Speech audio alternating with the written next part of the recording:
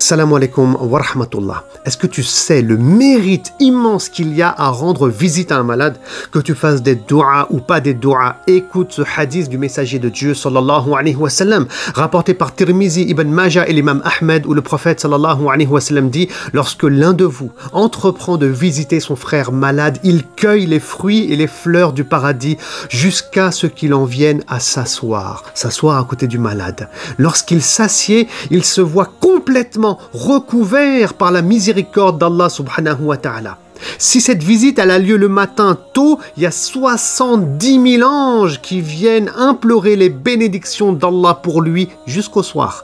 Et si cette visite a lieu le soir, on a 70 000 anges qui viennent implorer les bénédictions d'Allah subhanahu wa ta'ala jusqu'au matin. Subhanallah, à nous de visiter les frères malades uniquement, uniquement pour bénéficier de ces bénédictions. Salam alaikum.